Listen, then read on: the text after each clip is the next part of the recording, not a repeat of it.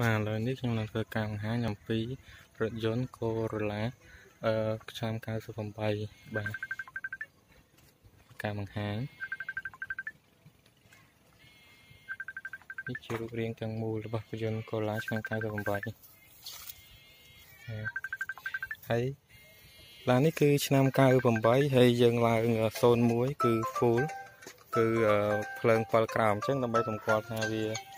01ឡានឆ្នាំណាអីគឺយើងមើលទៅលើ7ខាងក្រោមបាទនេះគឺឡើង01ពេញបាទគឺមាន7ខាងក្រោម